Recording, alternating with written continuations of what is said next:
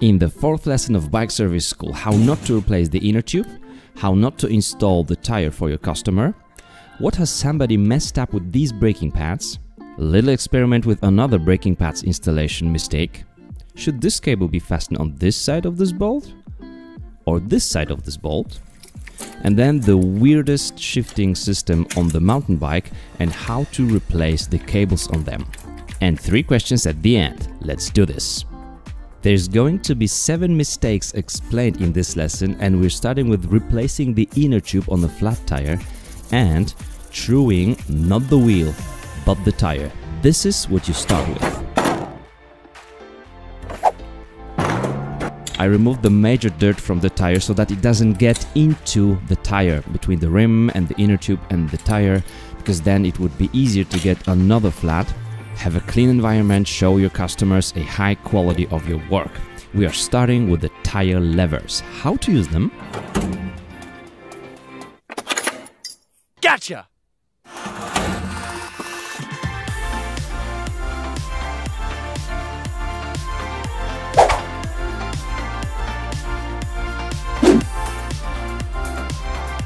Now that we have our tire levers, we are pushing the bead of the tire to the center of the rim, where it has a smaller diameter. That means less tension on the tire. Then you just scoop up the bead. Uh, two levers, I would say it's just enough. Three is more than enough. Uh, don't worry, those levers will be flying around your workshop, no problem. You can see how quickly three levers work together. Pay attention now, students. There comes the first mistake. Will you get it?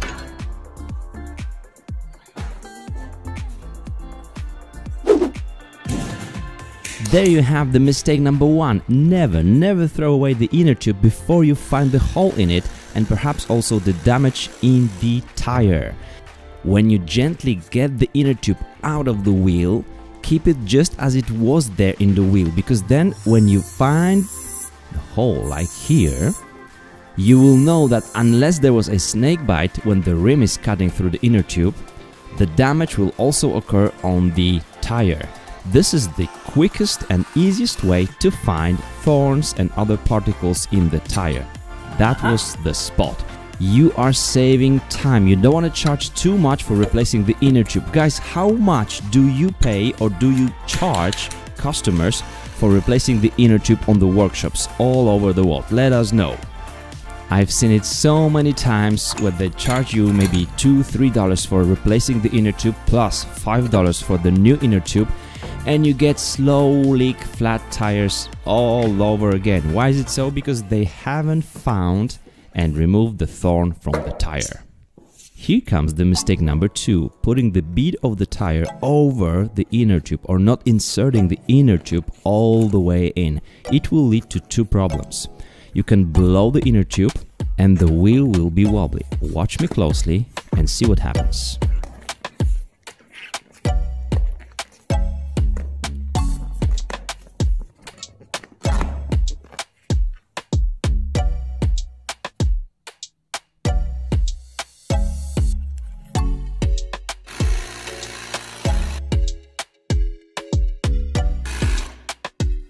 This is the line, mine students, that shows how badly or how nicely your tire sits in the rim. You can see that it goes up and down, then back up again and down. Sometimes it may even disappear behind the rim. Some newbies will even try to fix the rim, to true the rim, but it's not the rim. You can see how the tire is working now. You will feel it when you ride the bike. It looks awful, it feels awful. We need to fix it. First, the most common place where bike mechanics can do these mistakes is just around this valve. You need to push the valve in so that there is no inner tube under the bead of the tire and then you check the whole tire.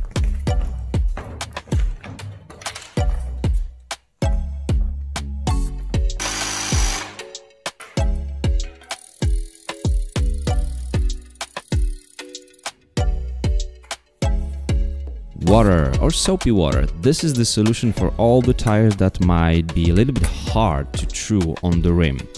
From my practice, from my perspective, I can tell you that I just don't want to waste any more time like here. I just applied water for one side and the other side was untrue. I always have water at hand when I'm installing any tire. I put the water on both sides, no matter what kind of the rim and the tire it is, and my tires sit really nicely. But then as a bike mechanic you also need to be aware that some especially cheaper tires will never get 100% straight. For example, I have had some problems with the cheaper models of the Schwalbe tires, but then my Racing Ralph and Racing Ray are 100% true, so just know that. The mistake number 3. I got this bike from the Craigslist and it had its braking pads installed in the way that, hmm, don't seem to be bad, but they are bad. They are wrong. People who have these spacers installed in the wrong way will never discover how strong V-brakes, even the cheap ones, can be. These arms are too close to each other. Why is it so? Well, it's because of these two little spacers and I'm also guilty of this sin of the Cannondale Super V project. Let's remove this arm, I'm gonna show you what it's all about. This thicker spacer should be here and this thinner spacer should be there. In other words, these two have been swapped. These spacers allow for the braking pad adjustment and it's very important that the thicker one is on the brake pad side and the thinner one is on the outer side. Let's fix it on the left and the right side and you will see what happens to the brake. It will be a completely different brake. See the difference? Let's have the other one fixed as well and then we put the wheel back on and you will see what happens to the cable. Now we need more slack on the cable, so we readjust the cable. You can already see these arms are much further away from each other and the braking and the modulation is much much better. What's interesting, on the rear wheel the right side was correct and the left side was wrong. And here is how the new braking pads will always look like. It's time for a dangerous experiment and the mistake number 4. I haven't seen bike mechanics do it, but I've seen bike owners do it. And it's swapping the right braking pad with the left braking pad. You can install them on either side. The brakes will kind of break, but it's wrong. You can see a forward arrow right here and also R letter, which stands for the right side. When you do it like that and for some reason you forget to put in the retaining pin or the bolt, here's what happens when you ride the bike and try to brake.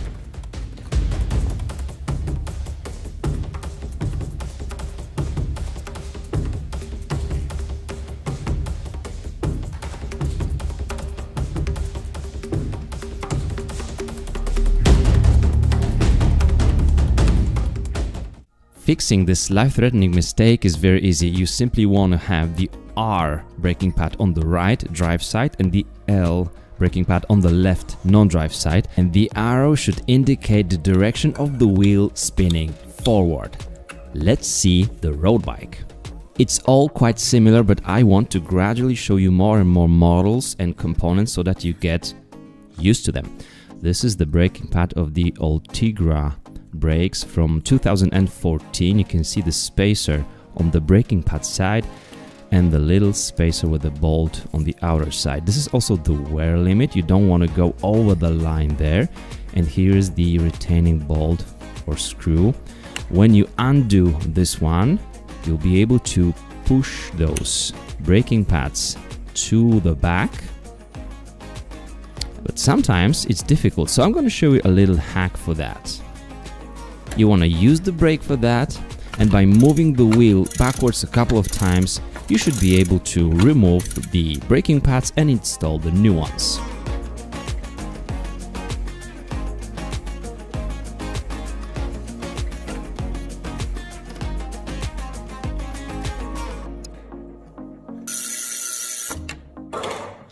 Moving on to the cable replacement mistakes, we start with the road bike.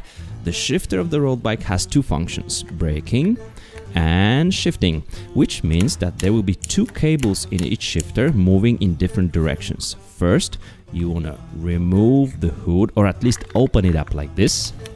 And so our fifth mistake is not shifting all the way down. We want to have zero tension on the cable, but also only in that position your shifter will give up the cable. Otherwise, you will never find it right here. This is a newbie mistake, but the sixth one will be quite popular from among the bike mechanics. By the way, I'm showing you the whole process. I have removed the cable, now I'm putting it back. Do it slowly.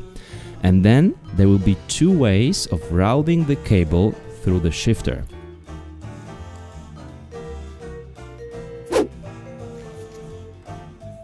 Some cables will be routed on the outer side of the handlebar, some on the inner side. The inner side is more common and we have it on the inner side too. The first way to get there is to have your cable in the big loop like I have it right now and to push it into the outer casing. The second one is to try to do it right away without doing a loop. Let's see my favorite loop method.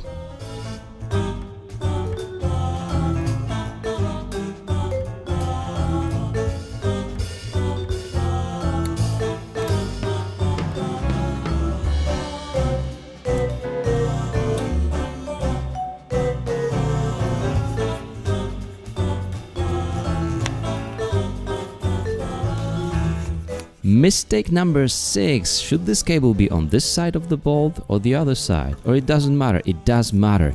It changes the levering ratio. So you should be looking for these grooves, especially on the derailleur side there is a factory groove for the cable. If you mount it on the other side of the bolt, some gears will be working and some will not. Same on your front derailleur. If you do it hmm? correctly through the groove, it will work perfectly. If you don't, it will still work, but not perfectly. You've seen my video with this mistake on the Shimano 105 5700 derailleur.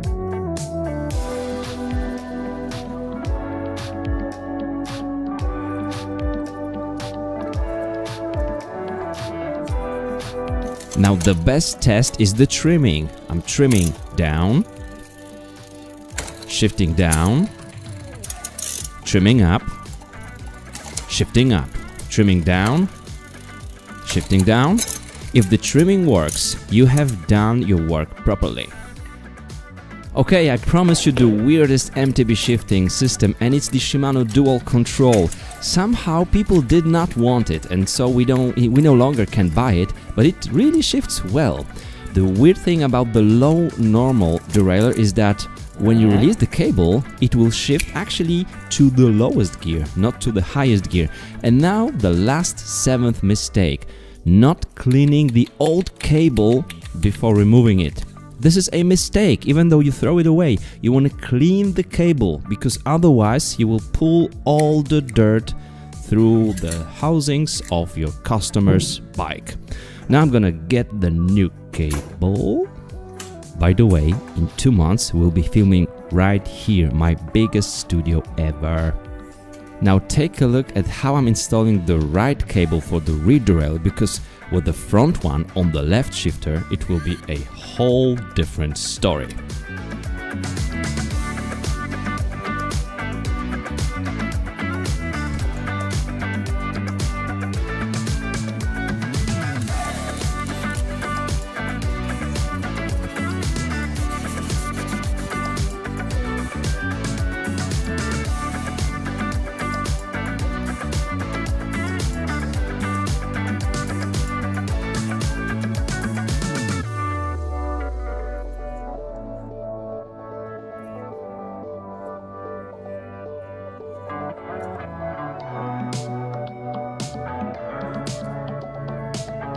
Please note that this derailleur has the groove on the other side of the bolt comparing to the old Tiagra I showed you. You need to pay attention to that.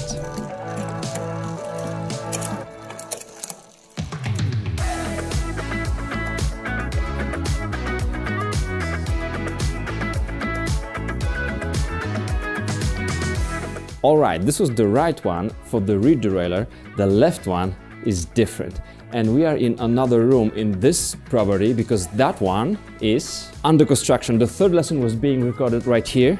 So now, if I'm not filming, I'm working on our new studio. Back to our cables, this was a very obvious entry for the cable on the right one. And this one doesn't have any. And before you start undoing all the screws, I'm gonna tell you just one thing. We need to undo just this one right here. And then the big cap will open up. Of course, same story here. It has to be shifted down so that the cable is not under tension. Then we undo the fixing bolt for the cable. The cable is free now, you see. It's loose.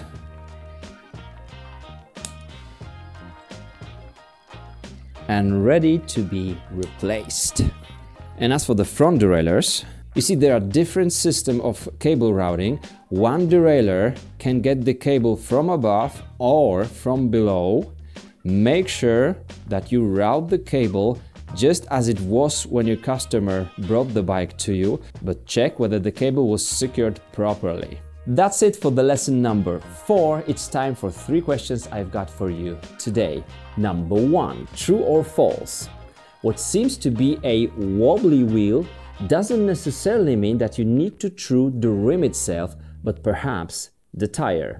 True T. False F. Number 2. Why do I recommend to clean the old cable before we replace it with a new one on the outer cable routing. And number three, name at least three of the seven mistakes we have mentioned and described and explained in this lesson. Thank you very much for being with me. See you in lesson 5.